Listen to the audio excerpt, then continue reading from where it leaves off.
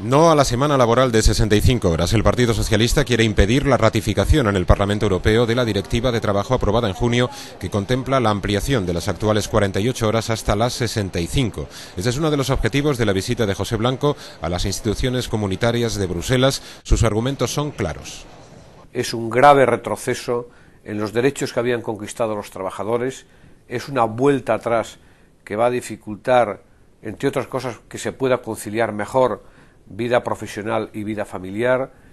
Eh, se trata de introducir más inseguridad y, por lo tanto, más dificultades a la hora de poder trabajar.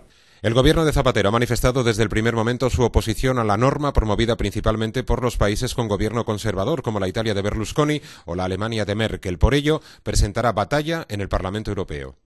Esto es consecuencia de la ola conservadora que invade Europa y frente a esta ola conservadora tenemos que decir basta ya y por eso el Partido Socialista va a iniciar una ofensiva en el seno de la Unión Europea para tratar de que esta iniciativa se pueda eh, echar atrás, se pueda parar eh, con el apoyo de los eurodiputados en el Parlamento Europeo.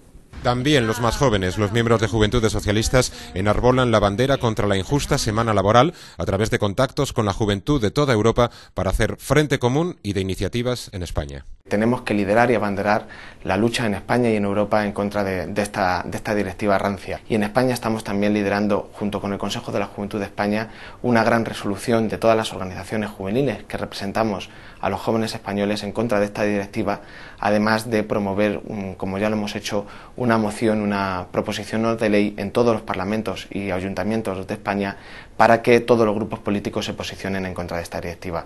Tanto el Partido Socialista como las Juventudes apelan al Partido Popular para que se sume a dar batalla ante esta seria amenaza para los derechos de los trabajadores que supone un retroceso en las conquistas sociales y desafía el proceso de construcción de la Europa social.